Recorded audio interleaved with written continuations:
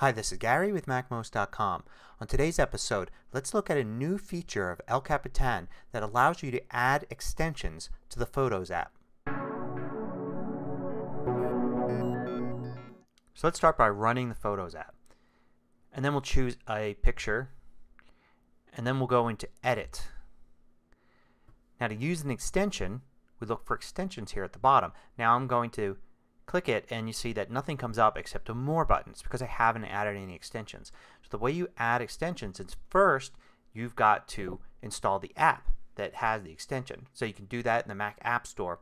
There aren't too many out there right now but I'm sure there will be tons being added over the next few months. So if there's a favorite graphics tool that you use you may want to go and check their website or contact their support and see if they've got a Photos extension in the works. Um, I'm going to hit more and it's going to go to System Preferences. going to go to the Extensions section of System Preferences and under Photos it's going to list any apps that have extensions. And in this case I have installed this one app called BeFunky that has an extension. I'm going to enable it.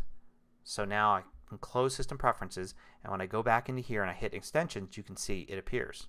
Now from this point on every extension is going to be different. So I'm going to choose it right here and we'll go into this extension and it will give me a bunch of things over here on the right that I don't normally have in Photos. So I can go ahead and just hit one of those buttons like autofix and apply it and try some of the other things that are there.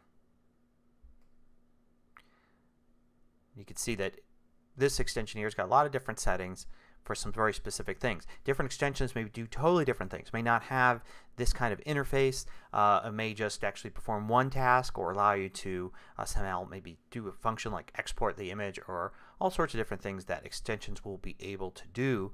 Um, and we're just going to have to wait to see what developers do with them. I'm hoping that some of the extensions will actually allow you to take the photo and basically edit it externally like perhaps uh, Pixelmator or Photoshop will have a extension that brings it into those apps and then allows it to come back into Photos in a pretty, pretty seamless manner.